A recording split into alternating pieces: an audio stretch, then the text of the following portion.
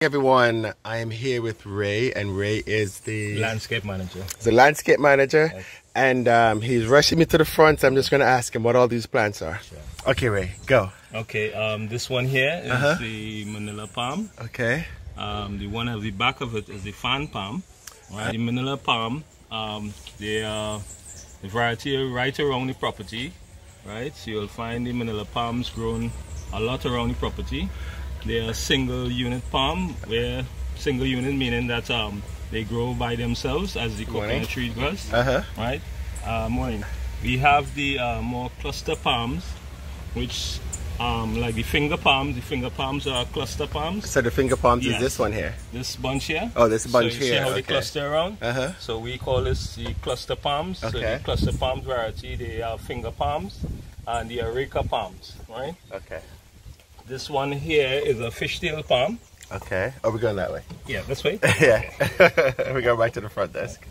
So this is a fishtail. Fish right? Okay. And another cluster palm, the areca palm, this one here. Okay. Right, so they grow in clusters. Ah. Right? This one here is the MacArthur palm. Right? The MacArthur is another cluster palm. Man, you are the expert. Yeah.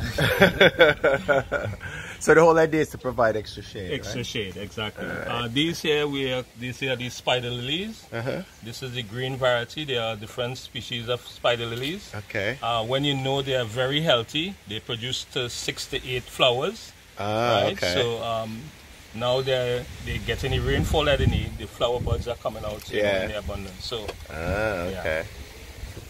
All right. So how long yes. have you been doing this stuff?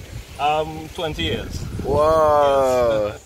So did you go to special school for this? Uh, just more on hands-on training on the job. I used to work at agriculture in uh, Trinidad and Tobago. Ah, see, I recognize yeah. that Trinidad accent yes, there, right? so I'm originally from Trinidad. okay. Right. So um, as we go along here, we have the um, philodendron vine better known as the running fig. Ah, okay. Uh, they provide 40% of oxygen in the night time, if you didn't know. So, uh, well, thank you very, much. Good we need that. to have around. yeah.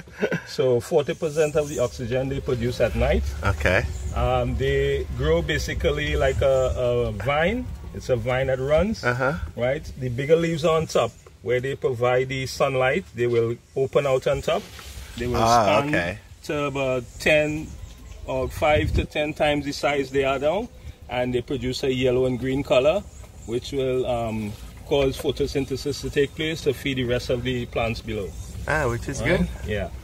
Yeah, this I'm is, so glad um, you understand all yes.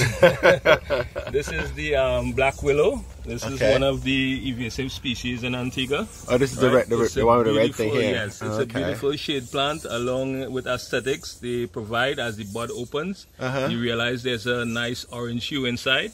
Uh, from a distance, it looks like you know little ribbons they cut on the tree once the buds are open. Ah, so, okay. Um, aside from ambience, they add a lot of shade, and um, they are very invasive species, especially to the kind of weather we have in Antigua. Gotcha. Yeah. Gotcha. This one here is also the MacArthur palm, another cluster palm. Uh huh. Right. Um, we have some shrubbery there, the uh, crotons. Yeah, I love crotons. Yeah. I grew yeah. up with those so in my backyard. Um, the, most of the crotons we have here are the arrowheads. Uh-huh. The, the more um, invasive species, the arrowheads.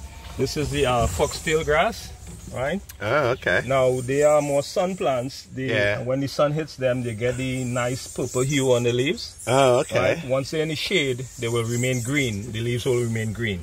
Very cool. So there are two varieties. There's a green species and there's a red uh, when the sun hits them, the entire leaves they, they turn a red, purplish red hue. Okay. Right. But a very beautiful um, grass to have, like to add aesthetics to the property. Um, we have the banana plantation here.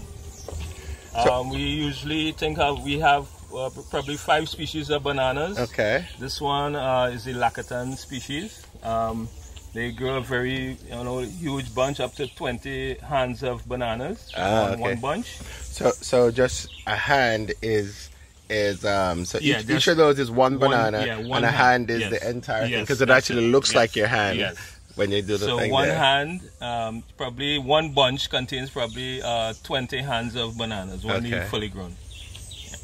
very cool yeah, it's amazing. So what's that red one right there? That's the bougainvillea. Oh, okay. Uh, we have different varieties of bougainvillea. Um, we have the variegated species, which Uh-huh. are the two-leaf color. Gotcha. Uh, this is the more common one. Um, this is the red bougainvillea. It's more common, so you will have a lot of these growing. Because the variegated species are very sensitive, they, Uh-huh. you know, they they need that extra um, push to for them to grow, like how the red one grows. Gotcha. Yeah. Gotcha. Nah, that's pretty amazing. And all over the Caribbean, the bougainvillea is what you see a lot, Yes, a lot because Yeah. they love the sunlight to Uh-huh. produce the flowers, as the um, the um, philodendron, Yeah. right? So um, this um, this is one we call the dancing lady. Which one? This, This one, here? Okay. Right, because uh, the leaves resembles a skirt of a lady dancing. Ah, okay. Usually we prune it, but the, the original thing it grows up into a straight line, so it produces a kind of you know flare going up. Gotcha. Gotcha. And Why, we have um, different species of hibiscus also. Ah, there we go. In the in the young stage, yes, right? Yes. This is the sea grapes, uh, the sea grapes that we have here. We Uh-huh. have two species of sea grapes. One is the um, Mexican sea grapes, right? And this one is the normal sea grapes that you have all over um, the shore shoreline. Ah, Right. okay.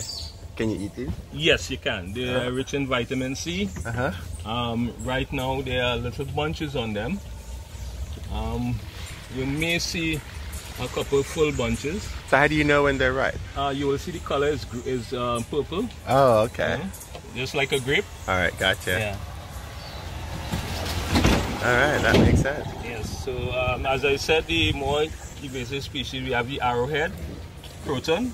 Oh, right? which So is this one see here, yeah, right? So you see okay. it's like an arrow, right? So these Ah, are these are the species, and the uh, they are also sun plants. yeah. So once the sun hits them, they get the color. They get the reddish orangish hue. Gotcha. But once they're in the shade, they will remain green until the sun actually hits them, you know, full sun. okay. Yeah. All right. Hey, good morning. well done. I'm so glad I saw you. Yes. and this is the other sea grapes, as I told you. This is the um, Mexican sea grapes. That's which one? This one Yeah, here? This one here. Okay, Right? that's this one here, produces right? a white Okay. flower and a white berry. Ah, white okay. grape, right? So this is the um, softer variety to the sea grapes, Uh huh. right? To the usual sea grapes that we have here on the property. It's, it's Yeah. a it's a beautiful property. Yes, I mean, it's.